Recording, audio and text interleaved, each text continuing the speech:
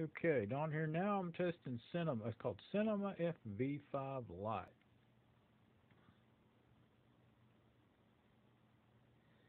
And that was was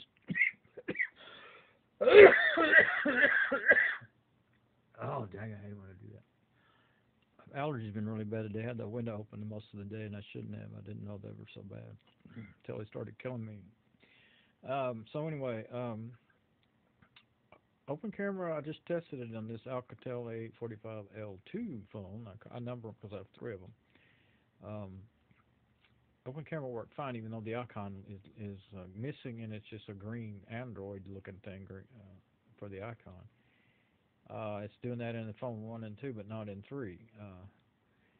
So I'm testing all my camera apps to see what's going on with them. But the the audio, I think it's going to be fine. I I listened to it, you know, back on the phone, and it, it's not very loud on the phone. Never is because the phones just don't have good volume for the speakers. But I think when I copy it over to the computer, it's going to be normal.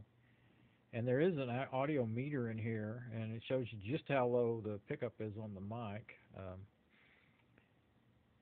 so um, I don't know how accurate it is, but it sure gives you a representation, and it's probably fairly, I mean, it's somewhat representative, I can tell, because audio is always very low. Even I have to get this close, like four, six inches from my face to uh, get any audio that can be heard at all, hardly.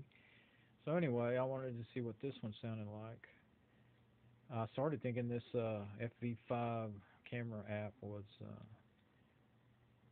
you know, conflicting with the open camera and causing trouble, but open camera was working fine on this phone so far. Uh, so let's see how the uh, how it's working on this one uh, in FV5.